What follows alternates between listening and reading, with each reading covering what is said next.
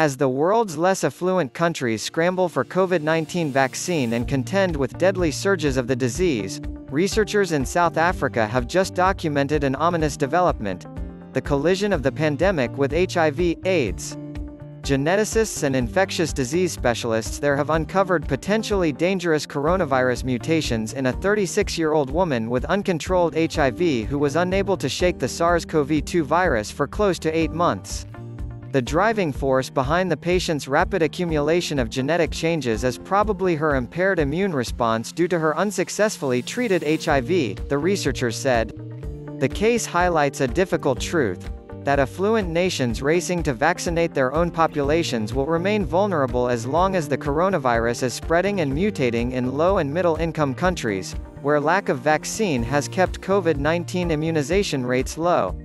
That's especially true in countries like South Africa, where HIV infections are common but often undetected. This underscores the advantage that this virus has until we can put the brakes on it, and we have to put the brakes on it globally, said Dr. Bruce Walker, founding director of the Ragon Institute, an immunology research center in Boston.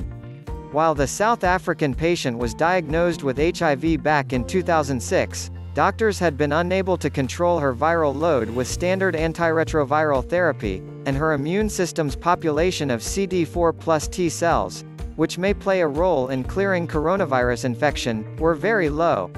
For 216 days, the woman continued to test positive for the SARS-CoV-2 virus. She was hospitalized with moderate illness for nine days in September soon after she contracted the coronavirus, but she never became severely ill with COVID-19. Still, the coronavirus that lingered in her body underwent 13 genetic changes related to its crucial spike protein, along with at least 19 other genetic shifts elsewhere that could change the behavior of the virus.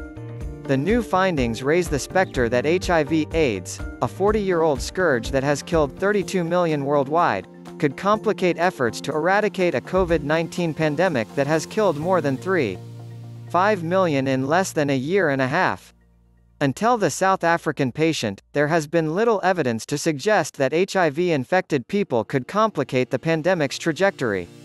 HIV-positive people were not known to be more likely to become infected with the coronavirus. And research had suggested they did not suffer worse medical consequences of COVID-19. But if her case turns out to be typical, that picture could change. HIV patients whose infections are not controlled with medication could become a factory of variants for the whole world, said Tulio de Oliveira, a geneticist at the University of KwaZulu-Natal in Durban, who led the new research.